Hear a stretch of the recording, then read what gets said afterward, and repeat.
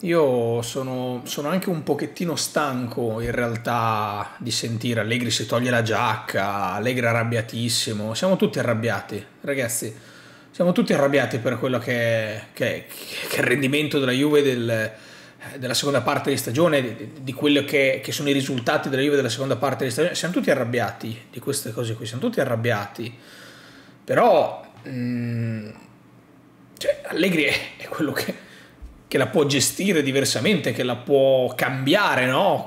Questa Juventus, o che la poteva cambiare in realtà ormai questa Juventus, perché purtroppo siamo arrivati a, alla fine, anzi forse per fortuna in realtà, siamo arrivati alla fine di questa stagione e per quelle che, che potevano essere le prospettive di questa stagione, quello di stasera, anzi non le prospettive di questa stagione, le prospettive di questo finale di stagione, quella di stasera è, è è un, eh, è un pareggio che alla Juventus eh, va benissimo. Tra l'altro, belle le immagini dei giocatori della Juve che vanno tutti a abbracciare De Rossi, chi ci ha giocato insieme e chi no. Quindi, eh, bellissima questa immagine proprio di sport. In generale, per De Rossi ho un'ammirazione eh, da quando era giocatore a, quando ora è allenatore. Un uomo che, che mi è sempre piaciuto un sacco. Ma al di là di questo, questo pareggio per la Juve, per come si è messa l'annata per quelli che sono gli obiettivi da raggiungere in questo finale di stagione è, un, è oro che cola, eh? cioè veramente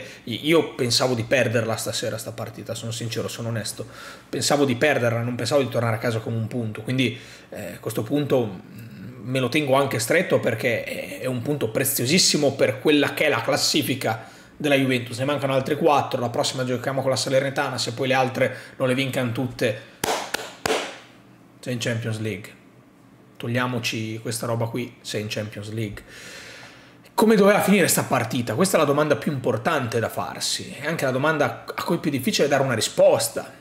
Perché questa è stata una partita con talmente tanti episodi, ragazzi, che faccio fatica onestamente a dirvi doveva vincere la Juve, doveva vincere la Roma. Cioè, alla fine vi dico che probabilmente è giusto il pareggio, perché ci sono state veramente tantissime occasioni da una parte e dall'altra, miracoli da una parte e dall'altra, eh, pali dalla traversa di Christiansen, il palo di Chiesa, l'occasione di Abram, l'occasione di Locatelli, la parata su Ken, eh, cioè, ci sono state veramente un milione di occasioni, un milione di occasioni da una parte e dall'altra.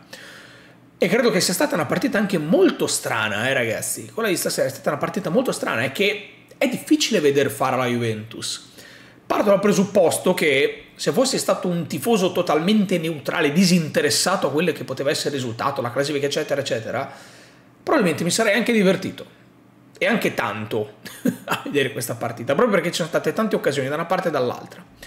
Ed è una partita particolare, perché da parte della Juventus questo tipo di approcci al match non te li aspetti. Solitamente la Juve è una squadra che, l'abbiamo visto, si preoccupa più di non fare gol. Ecco, io stasera ho visto due squadre, sia la Juve che la Roma, che avevano voglia di vincere questa partita.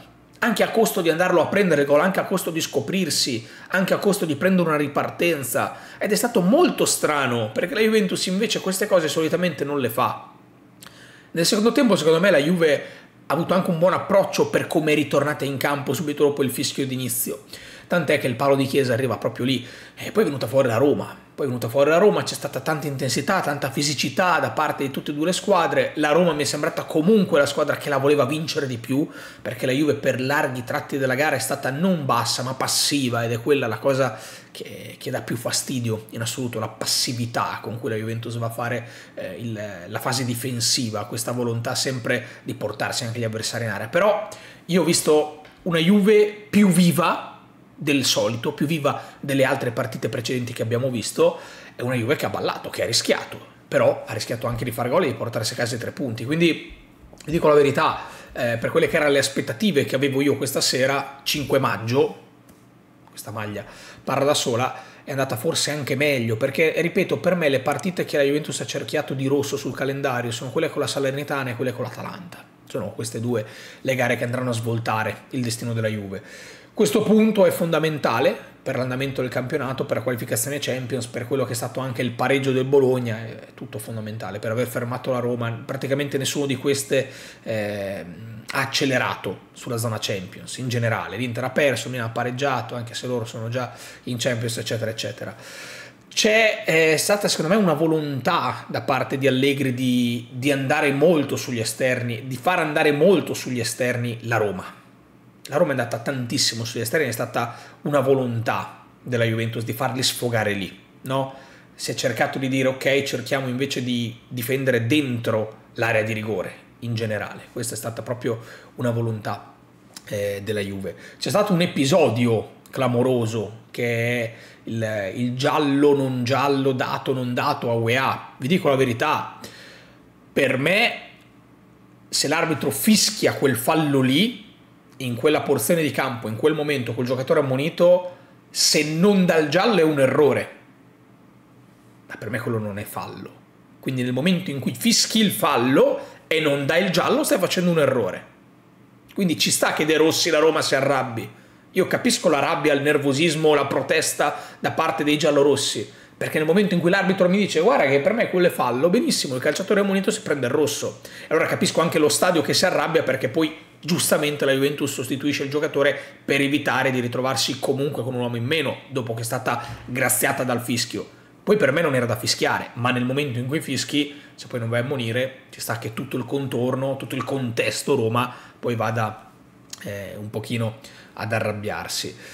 Non mi è piaciuta tantissimo la volontà di sostituire sia Ken che Milik, di inserire sia Ken che Milik insieme, anche perché poi in realtà Ken è andato a fare praticamente l'esterno del 5-4-1, quindi dopo la Juventus ha cercato una disposizione un po' più particolare che non ho apprezzato tantissimo, ma perché? perché in realtà Vlaovic ha fatto una brutta partita. Eh, dopo essere stato mangiato da Ciao, oggi Ndika e Llorente sono stati molto molto bravi. Su di lui, tra l'altro, Vlaovic nel primo tempo, eh, sullo 0-0 forse ancora, si è mangiato un'occasione abbastanza facile. Dopo poi la Roma è andata in vantaggio con un errore di Gatti, una lettura forse sbagliata di Bremer su Dybala, un cambiaso che non ha accelerato tantissimo su Baldanzi, eccetera, eccetera. Tra l'altro Baldanzi contro di noi dopo l'1-1 nella partita con l'Empoli dello stadium dove è iniziato il declino Juve, a quanto pare con noi è sempre eh, molto molto attivo, ma Vlaovic non mi è piaciuto tanto. Mi è piaciuto invece Chiesa, l'assist per il gol di Bremer, bello lo stop di Chiesa, bello l'assist di Chiesa, bello lo stacco di Bremer che vale l'1-1 eh, e poi tante altre giocate di Chiesa di qualità. Quindi abbiamo un pochettino ritrovato Federico Chiesa, questa è un'ottima notizia per queste ultime partite della stagione, ripeto, le prossime due partite della Juventus sono indispensabili, tre punti con la Salernitana più la finale di Coppa Italia, maggior ragione oggi che non c'era Ildiz, forse anche quello ha un po' contribuito a far avere a Chiesa, no, non sputato, far avere a Chiesa la testa un po' più libera, non lo so, forse sì, forse no, ormai in questo momento è difficile fare la conta sulla Juventus o valutare la Juventus, perché anche una partita del genere non me l'aspettavo. Una partita così spezzata in cui la Juventus rischiava così tanto pur di andare a farlo, poi andava a farlo pur di rischiare. Non sono atteggiamenti da Juve, però forse sono atteggiamenti da Juve che ormai voleva chiudere la pratica questa sera a Roma senza esserci riuscita. Ragazzi, è ovvio che 14 punti in 14 partite sono uno schifo, non trovo un altro modo di valutarlo se non schifo, perché oggettivamente il rendimento della Juve è inqualificabile, anzi è qualificabilissimo e tendente al brutto. Eh, però in questa situazione qui e con la Roma che doveva necessariamente vincere veramente per essere più tranquilla, io questo pari me lo tengo stretto in ottica, finiamo la stagione, poi mettiamo un punto e ricominciamo. Poi è ovvio che mi sarebbe piaciuto prendere i tre punti stasera, chiudere la qualificazione, eccetera, eccetera. Forse servirà anche un pochettino a tenere sull'attenti in vista salernitana, perché ecco, la salernitana tu non la puoi sbagliare. Cioè tu non, non esiste che vada a sbagliarmi la partita con la salernitana già retrocessa. Cioè quella è una partita che vale più della finale di Coppa Italia, perché se tu non vinci con la salernitana, poi c'hai il Bologna e il Monza e rischi veramente di farti male dopo esserti messo comunque in una situazione positiva e non per merito tuo ma perché gli altri dietro hanno iniziato a rallentare un pochettino. Quindi se tu vinci la partita con la Salernitana questo pareggio è fondamentale. Se tu non vinci la partita con la Salernitana sei andato veramente a metterti nello sterco da solo con le tue mani. Quindi un pareggio da vedere come bicchiere mezzo pieno o mezzo vuoto Io stasera per quello che è l'andamento della Juventus delle ultime 14 partite, anzi 13 prima di questo, lo vedo come un bicchiere mezzo pieno, perché stasera credo che la Juventus abbia messo forse la più seria ipoteca possibile sulla qualificazione Champions. Io partivo prevenuto in negativo, mi aspettavo di perdere stasera, invece la Juventus almeno un punto lo porta a casa, eccetera, eccetera. Certo è che questo ennesimo sfogo sul finale di Allegri mi fa capire che tutto c'è tranne che un ambiente sereno, rilassato, tranquillo, no, la Juventus è una polveriera pronta ad esplodere, mancano 3-4 punti, 4 punti per la qualificazione Champions, cerchiamo di farne 3 con la Salernitana. E poi magari gli altri dietro iniziano un po' a rallentare. E noi siamo a posto così. Fatemi sapere la vostra qui sotto nei commenti e forza Juventus. Ciao ragazzi.